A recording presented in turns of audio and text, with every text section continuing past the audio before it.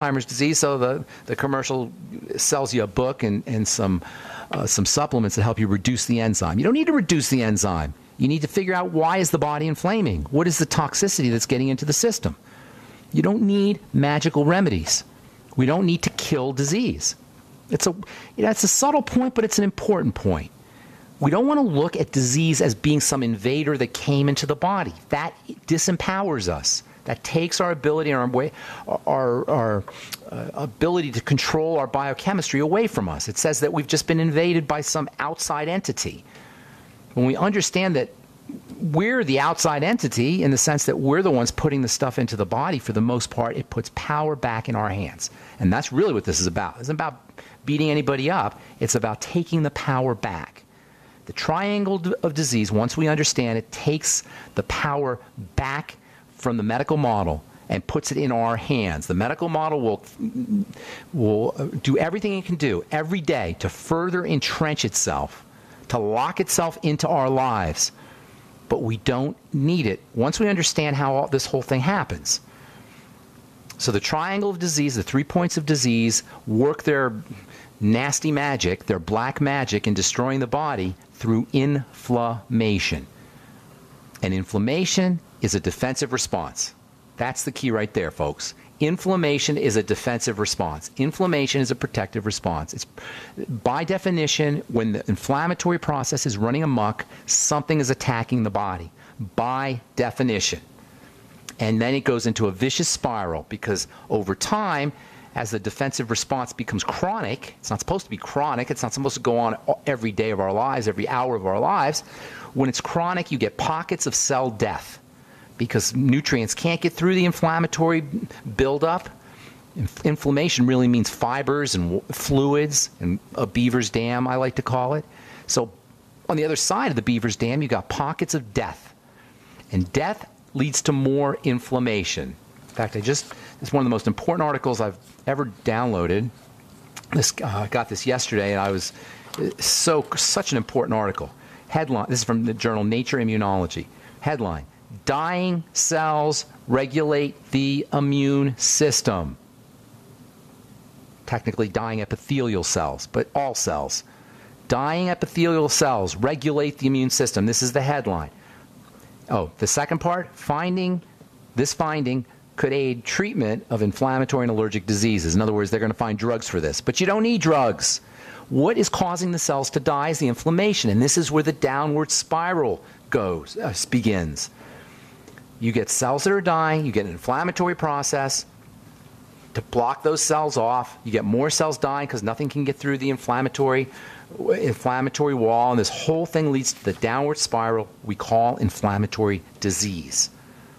And it all starts from the triangle of disease, and the mediator is the blood.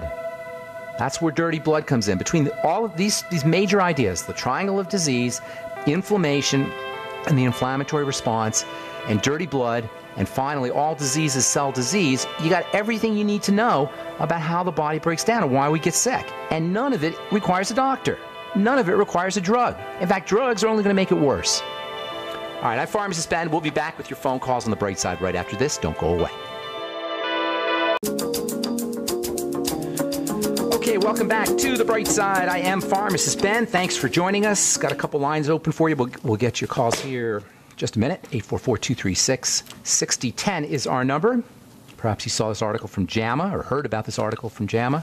Proton pump inhibitors may be associated with increased risk of dementia. So called proton pump inhibitors are the latest craze when it comes to heartburn drugs, PPI drugs are the most popular heartburn drugs. How do they work? They suppress the digestive acids. They suppress uh, the production of digestive juices. Now, if digestive juices are in, if there's juices in the digestive system to help you process food, what do you think is going to happen if you if you suppress their the production of these juices? Of course, you're going to run into problems uh, with nutrient absorption. It can't help but happen. Surprise, surprise. Uh, it's been known uh, since these proton pump inhibitors came out that uh, low levels of magnesium or uh, low levels of magnesium, low levels of iron, low levels of B12 are associated with these kinds of drugs, but it's just common sense. You don't need a study to tell you any of this stuff. The fact is, uh, Losec, Prilosec, uh, uh, Prevacid, there's a whole bunch of them now. They can't help but cause problems with nutrient absorption, and ultimately, you're going to have risks of things like dementia. Dementia is not the pro- a weird enzyme, some weird thing that's getting into your system. It's just a, a way the body breaks down, except it's breaking down in the brain. Here's another one delirium, muscle weakness among overlooked symptoms of sepsis. What is sepsis? Dirty blood. So, delirium uh, it counts as uh, a symptom of Alzheimer's disease, results from, from sepsis, from dirty blood. You see, these things happen. These common mechanisms are behind everything. Muscle weakness, also, among overlooked symptoms of, uh, of sepsis. Here's another good one Lipid based diets effectively combat Alzheimer's disease. Where have you heard that before? It's from the journal Current Alzheimer's Research yesterday. Lipid based diets, fat diets, fatty diets, fat in your diet, coconut oil, good fats, avocado, butter. All right. I'm Pharmacist Ben. 844-236-6010 is our number. Let's go to Pam in California. Welcome to the bright side, Pam. What's going on? Hi. Good morning, Ben. It's really good to, to speak with you. And uh, Thank you. Thank you. I've been listening to you for a long time. But, oh, nice. But I'm what I'm calling about is to get your opinion on maybe a course of action. Um, what this is is, and this has been going on for eight to ten years. The the muscles in my left eye have started to turn inward, and I am not. Um, and it started out intermittently and what it what it manifests is is double vision. If I try to look with both eyes, the vision individually in each eye is okay because I close one eye and I can see just as well with the left eye as I can with the right eye. Yeah, but still, you don't want to have to mess around that way. It sounds well, like the muscles are getting weak, is what's happening. Right. they're not and, holding the eye in place. That's a basically, you know, with all due respect, you're breaking down. I, I, I know that. okay, so we got to turn that. that. equation around. We got to turn that arrow around. So but you're building up instead of breaking. MRI and all that. Forget. Stuff. I don't need to hear any of that stuff. You're breaking down. That's what I'm telling you. This is the simplicity of this. Uh, now, I said simple, but not necessarily easy because you're going to have to do a lot of things. Now, your goal should be to get stronger and stronger and stronger over time. And when I say you get stronger, I'm not just talking about your eyes, I'm talking about all of your muscles. Muscles are part of the musculoskeletal system, which is a kind of a blend of two types of tissue. Oh, that okay, tissue's breaking down. Very quickly. Well, let me just say one last thing, and then I'll let you continue. With cortisol, because uh, I've had 12 years of unending stress taking care well, of. Well, of course, you're join the club. You know what? George Carlin used to say this. He said he used to go like this. I told Chuck. I said, "Oh, you don't like your job? well, there's a support group for that. It's called Everyone, and they meet at the bar." you know, and it's the same thing. You got cortisol. Everybody's got cortisol. We live in this crazy, stressful world. So yes, you're absolutely correct. Cortisol is going to be involved.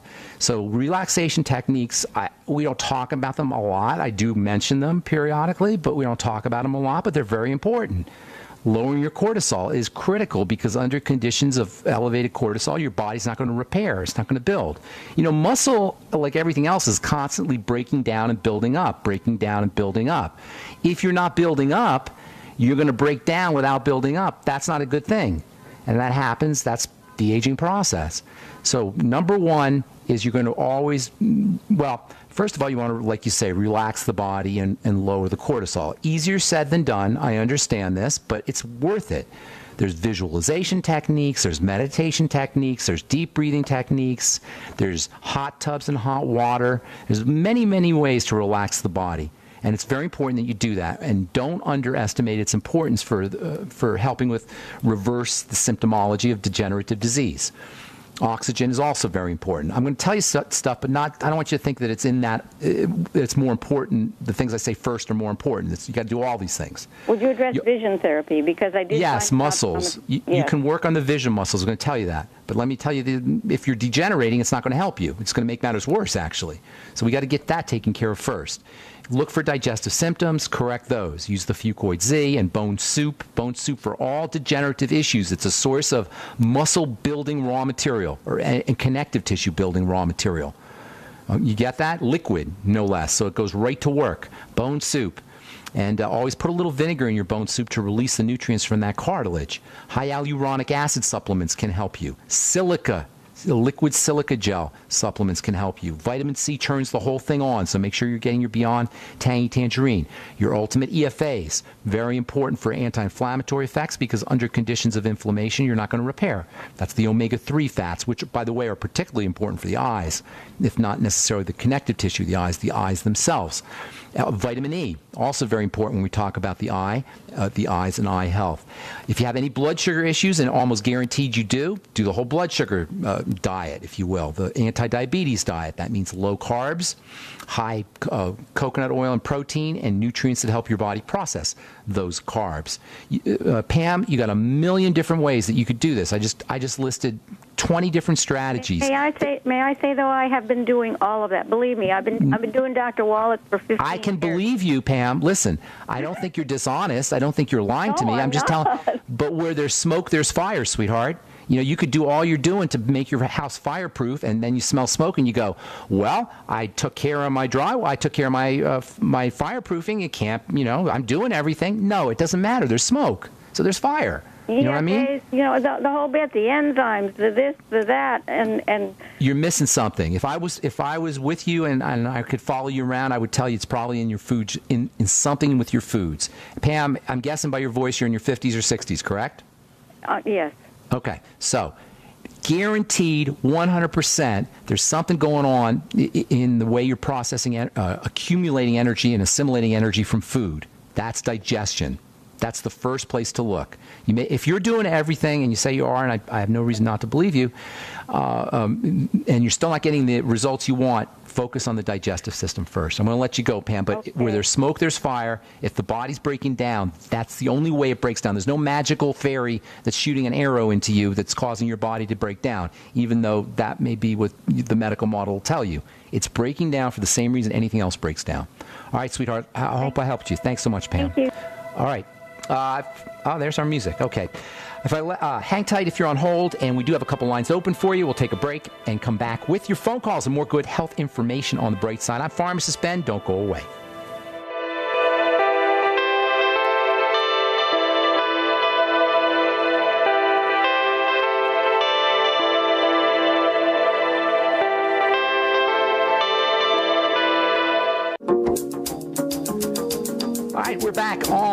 Bright side. John in Michigan. What's going on? Welcome.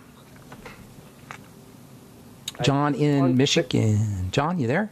Yes, I'm here. Can you hear me? Yes, sir. What's what's going on, man? How can we help? Uh, one is with chronic fatigue, and I also want to bring up the uh, uh, bit about weaponized mycoplasma that uh, Professor Don Scott, who's now passed on in 2011, has exposed that is affecting many people, especially women uh, with many of the uh, conditions that are, are just diagnosed as either uh, chronic fatigue or the other one uh, that's really popular, the P word, uh, uh, but I, I can't think of the name right now. But um, my uh, chronic fatigue is there something? Uh, this mycoplasma attacks the flora in the gut.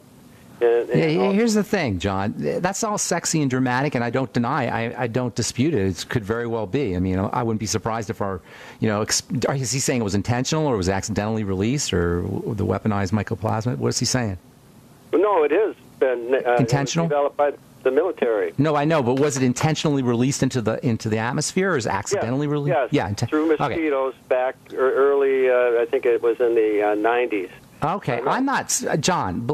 I am no Pollyanna about DARPA and the Defense Department and the government. I'm believe me, trust me. I don't just be, deny that any of that stuff, but we can't do anything about it. What you got to do is you work where you can work. And as you uh, pointed out, mycoplasma is a type of living entity that that that uh, uh, lives in an antagonistic relationship with your natural good bacteria. So Correct. it can definitely it can definitely kill off your good bacteria. So what do you do? Well, first of all, you got to not participate in the lifestyle behaviors that kill off the bacteria to make the problem worse.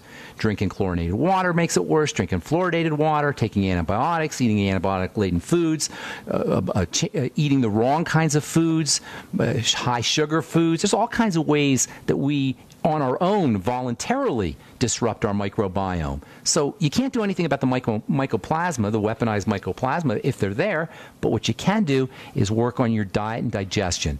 Make and do